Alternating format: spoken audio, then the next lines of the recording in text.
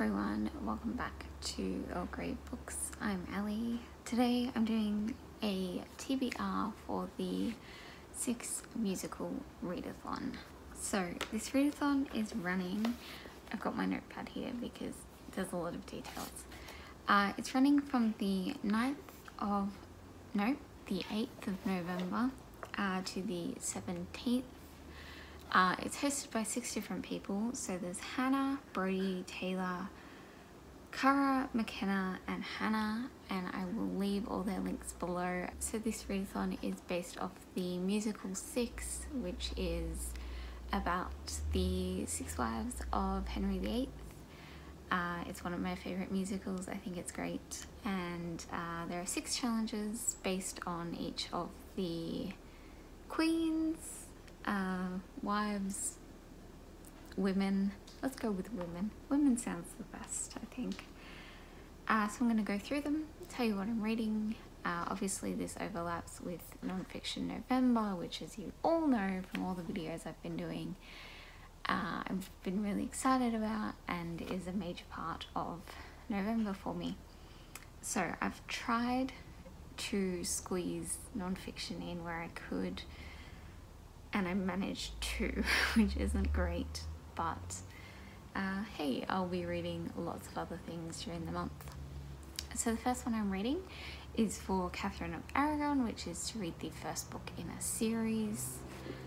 I'm going with Bringing Down the Duke by Evie Dunmore. I don't know what the name of this series is. I just know that it's the first book, but yes this is the first book.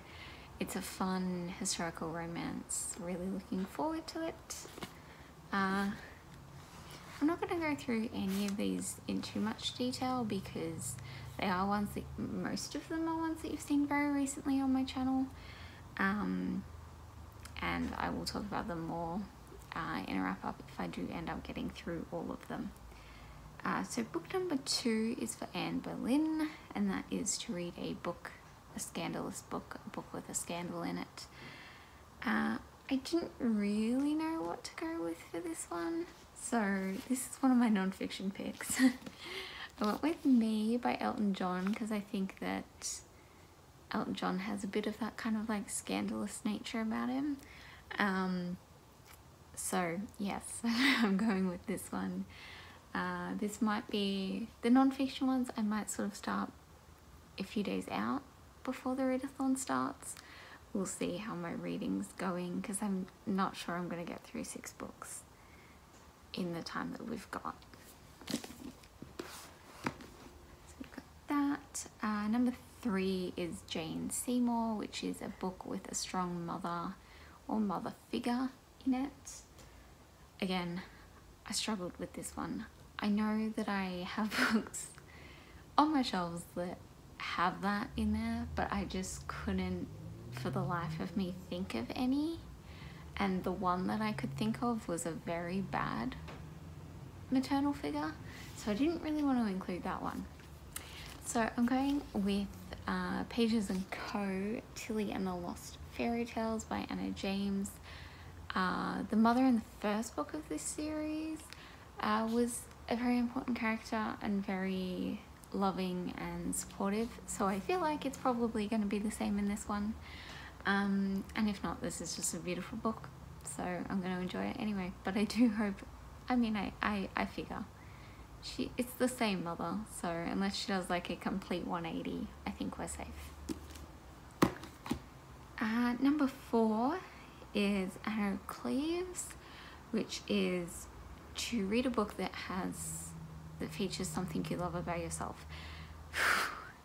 Again, this was a struggle, and it's not necessarily because there aren't things that I like, there are things I love about myself, but trying to like put that into words and then try and find a book. I don't know what he's doing, I'm sorry.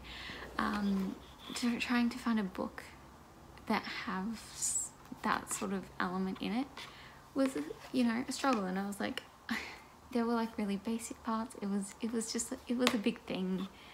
So I decided that I wanted to go with a book that featured disability because obviously that's a big part of my life.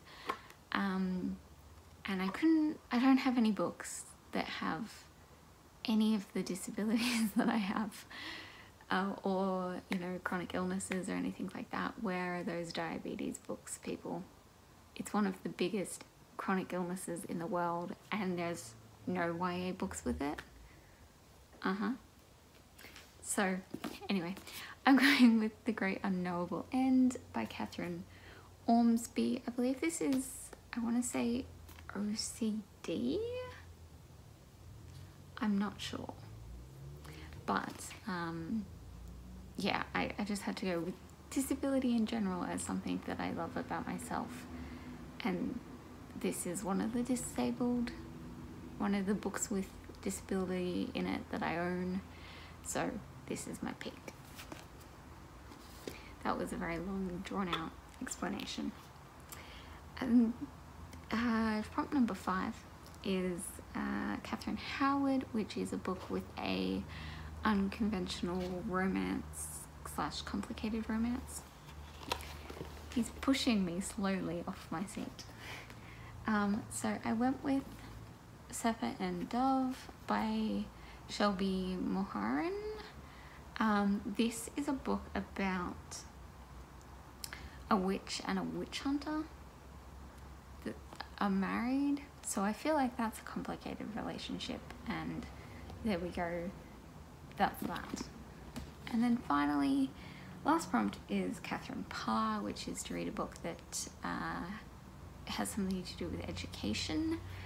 I had a lot of possible books for this one, but I decided to go with Inferior, uh, How Science Got Women Wrong, and the new research that's rewriting the story by Angeline, Angeline, Angela. I don't know if it's Sini, Sinini. I don't know why it would be that, but yep. That's what my brain wants to say. Uh, so, I've been trying to read this one for ages, which is why I decided to pick it.